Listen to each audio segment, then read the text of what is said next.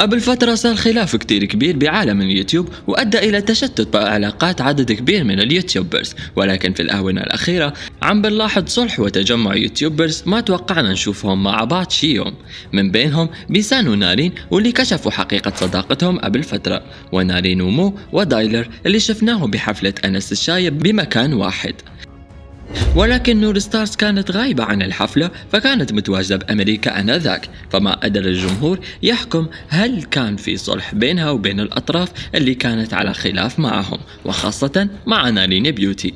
ولكن وبآخر story شاركته على إنستغرام لمحت لأشياء صدمت الجمهور. فشو رأيكم أنتو؟ من تقصد نور ستارز باليوتيوبر اللي صارت دراما معه؟ سؤال إشاعة. حتى إذا موضوع دراما سمعتوه عني مثلا مع حدا موضوع عن يوتيوبر معين حابين تسألوني عنه انطلقوا بالأسئلة بدي أعمل فيديو دسم من القلب إلى القلب.